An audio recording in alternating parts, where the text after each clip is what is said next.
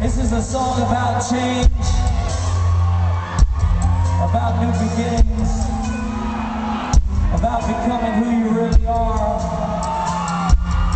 I want to dedicate this song to Matt Wachter. We love you. This song's called R-Evolve.